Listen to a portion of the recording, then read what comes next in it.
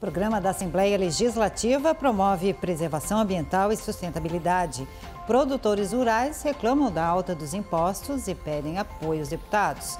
Você vai saber ainda as informações da Agência de Notícias da Assembleia, previsão do tempo e as belezas de Coxilha Rica em Lages. Fique com a gente porque o Primeira Hora já está no ar.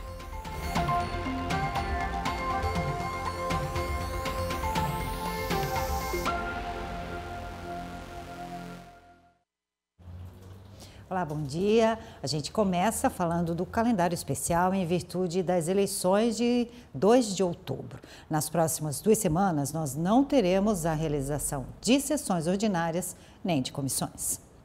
O calendário especial é uma prática adotada pela Assembleia Legislativa desde o início dos anos 2000, sempre em anos eleitorais consiste na antecipação para o primeiro semestre de sessões que seriam realizadas nos meses de campanha eleitoral, agosto e setembro, evitando assim prejuízos aos trabalhos legislativos. Neste ano foram antecipadas sessões nas terças e quartas-feiras, no período da manhã, nos meses de abril, maio e junho. Com isso, não haverá sessões plenárias e reuniões das comissões permanentes nas duas últimas semanas de setembro. As atividades parlamentares só retornam após o primeiro turno das eleições, marcado para o dia 2 de outubro. Estagiários do programa Toneta de Barros passaram por uma capacitação aqui no parlamento. A atividade? Estimular a comunicação. A prática teve como foco desenvolver a habilidade de argumentação dos participantes. Uma das ferramentas de aprendizagem utilizadas foi a leitura do conto Passeio Noturno do autor brasileiro Rubem Fonseca. A proposta da dinâmica envolveu a preparação dos integrantes do PAB para a simulação de um júri. A atividade foi conduzida pela doutoranda em Linguística na Universidade Federal de Santa Catarina. Um dos objetivos desse módulo também é relacionar né, de que forma que a argumentação pode estar uh, presente nas diversas manifestações da linguagem. E para essa aula, a ideia era relacionar uh, estilos literários. Eu apresentei, a gente fez a leitura de um conto do Rubem Fonseca, Passeio Noturno, e de que forma que a gente pode utilizar da linguagem literária, é, transformando ela num, né, num, num mecanismo para a gente construir uma argumentação. Os 60 estudantes selecionados têm entre 16 e 24 anos precisam estar cursando o ensino médio, profissionalizante ou superior. Também é necessário que a renda familiar seja inferior a dois salários mínimos e meio. Ainda de acordo com a ministrante, a atividade também abrange a construção da confiança dos estudantes e o desenvolvimento da noção de que a comunicação é uma habilidade que pode ser aprimorada. Ainda de acordo com a ministrante, a atividade também abrange a construção da confiança dos estudantes e o desenvolvimento da noção de que a comunicação é uma habilidade que pode ser aprimorada. O assunto agora é sustentabilidade. A Assembleia Legislativa tem um programa sobre isso. É o Alesc Sustentável. Veja como é feita a reutilização da água aqui no parlamento. Os novos empreendimentos da construção civil de alguns anos para cá já são erguidos levando em conta princípios básicos de sustentabilidade, como produção própria de energia elétrica e reaproveitamento da água fornecida pelas empresas de saneamento. Com esse espírito, o Alesc Sustentável, programa do Parlamento Catarinense, busca economia e melhor aproveitamento dos recursos naturais. É o caso da água, como explica o coordenador do programa. Finalizamos o ano passado, em março de 2021, finalizamos a água de reuso para ser utilizada em escargas de, de banheiros, lavação de jardins, enfim. A água de reuso é todo tipo de resíduo líquido gerado nos processos humanos, que é submetido a formas seguras de tratamento para então ser reaproveitado em outras atividades que dispensam o uso da água potável. E o Alesc Sustentável também comemora mais uma conquista neste mês de setembro. A gente já concluiu 100% da logística reversa, que nada mais é do que destinar qualquer material em desuso, mas que pode ser aproveitável. Hora de saber o que é notícia no site da Assembleia Legislativa. As informações com a jornalista Daniela Legas. Bom dia, Dani. Olá, Cláudia, bom dia. Bom dia também a todos que nos acompanham. Bom, eu começo os destaques da Agência L de hoje falando sobre uma medida provisória que foi encaminhada aqui para a Assembleia Legislativa pelo governo do estado. Essa medida ela trata do ICMS que é cobrado das distribuidoras de etanol aqui em Santa Catarina.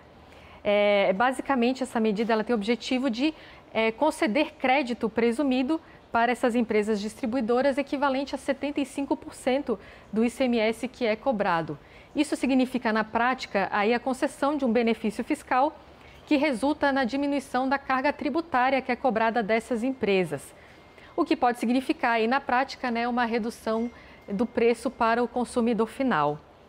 Bom, a, o governo do estado ele justifica a apresentação dessa medida como uma forma aí de dar mais competitividade entre o etanol e a gasolina, já que a gasolina aí ela recebeu já diversos benefícios fiscais nos últimos tempos, né? Bom, e por se tratar de uma medida provisória, ela já está valendo, né? A partir do momento que ela é assinada pelo governador, já passa a ter vigência, né? Só que precisa daí ser validada pelos deputados estaduais. Por isso que foi encaminhada aqui para a Assembleia Legislativa e agora aí vai passar por todos os trâmites aqui dentro para efetivamente daí ser convalidada, né? E virar lei é, aqui em Santa Catarina. Bom, outro destaque que eu trago também foi a sanção de um projeto de lei, de uma lei aprovada também pelos deputados estaduais, que trata da política de apoio às cooperativas de energia elétrica.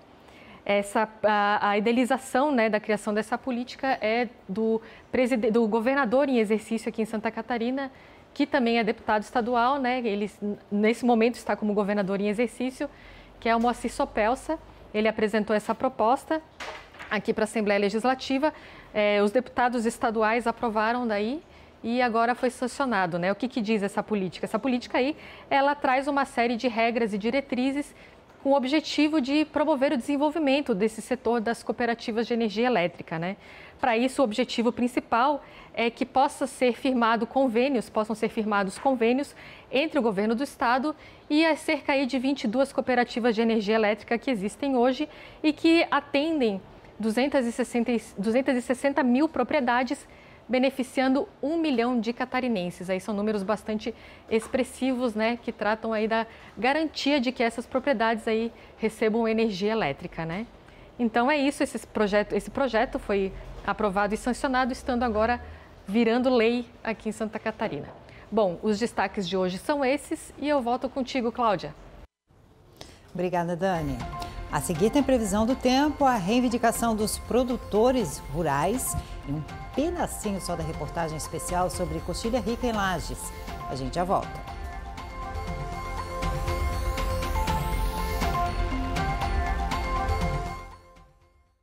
De volta com a primeira hora e a previsão do tempo para hoje aqui no estado. De acordo com a Ipagre Ciran, chuva em todas as regiões devido a uma área de baixa pressão no país. Do extremo oeste ao meio oeste, o tempo melhora no decorrer do dia. Temperatura mais amena por conta da chuva. No oeste, a máxima pode chegar a 14 graus, 13 na Serra e no sul, 18. Já na Grande Florianópolis, 24 graus, 17 no Vale do Itajaí e 23 no norte do estado. E representantes da Associação de Agroindústrias Alimentícias do Estado visitaram o parlamento e pediram apoio dos deputados. Eles reclamam da alta dos impostos. A ASASC é uma entidade de classe sem fins lucrativos, com 52 associados que representam o segmento agroindustrial das empresas que trabalham com proteínas de origem animal, além de estimular o crescimento de forma cooperada. Hoje nós vivemos não somente pelas questões tributárias, mas muito dos nossos números, dos nossos resultados, dos nossos abates não são vistos. Nós estamos falando de pequenas unidades agroindustriais e que na sua grande maioria vendem somente no mercado de Santa Catarina e aí nós temos dificuldades no campo da inspeção para vender para outros estados. Nós estamos num setor extremamente produtivo. É, apesar da concentração de população mais no litoral, mas principalmente o oeste está longe disso nós temos dificuldade no campo da inspeção, nós somos penalizados tributariamente se nós vendermos o nosso produto industrializado para fora do Estado. É inadmissível isso. É mais negócio nós comprarmos animais vivos de outros estados, porque tributariamente fica melhor. Então, de fato, o Estado não nos conhece. A visita dos associados da ASASC à Assembleia Legislativa também contou com uma degustação de produtos de origem animal e com a entrega de moções de aplausos aos 52 integrantes da entidade.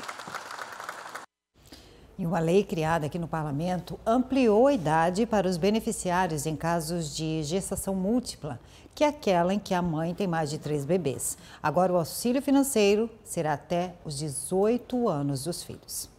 Em 2010, foi criado em Santa Catarina o programa Gestação Múltipla. Ele garante auxílio financeiro do Estado para mães que dão à luz a três ou mais crianças na mesma gravidez. Nesse mesmo ano, nasceram em Braço do Norte, no sul catarinense, a Evelyn, a Vitória, a Isadora, a Samanta e a Poliana. A mãe das meninas explica como o benefício de R$ 502,60 por filho foi fundamental. É com este que eu coloco a comida na mesa e consigo criar e dar conforto para as minhas cinco filhas. Quem tem múltiplos sabe que os gastos são bem maiores e com cinco de uma só vez, sendo mãe solo, as dificuldades também são bem maiores. Saber que eu vou estar amparada por esta lei me deixa com certeza mais segura.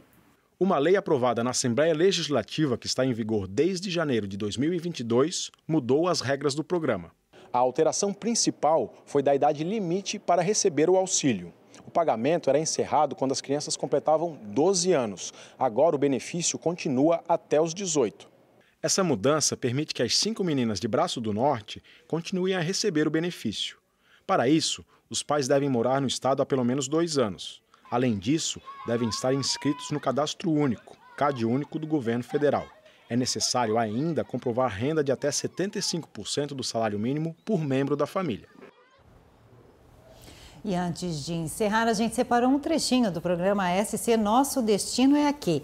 A equipe da TVAL foi para Lages mostrar o que tem de mais bonito na coxilha rica na Serra Catarinense.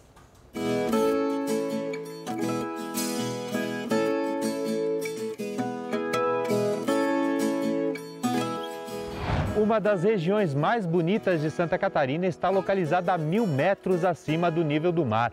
São 100 quilômetros quadrados de área rural, com fazendas, rios e vegetação nativa.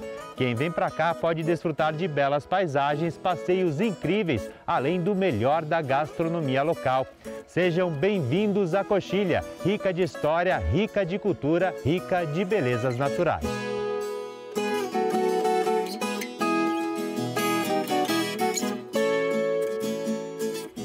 Esse amigo meu, ele veio nos procurar para fazer um trajeto, um circuito na Coxilha Rica.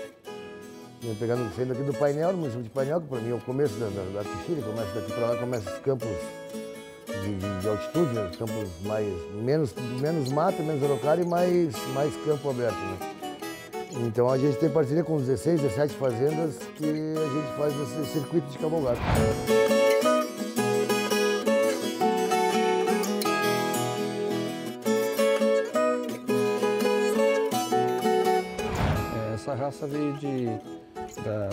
Europa, por, pelo, na época da colonização ali, Martinho Afonso de Souza, e de lá, de lá veio por Álvaro Nunes Cabeça de Vaca, que fez a parte de colonizar, de, de trazer esses animais para o sul do país.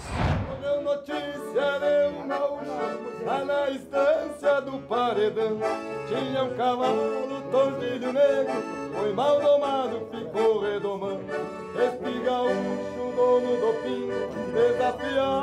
Qualquer pena. Dava o tordilho negro de presente pra quem montasse sem cair.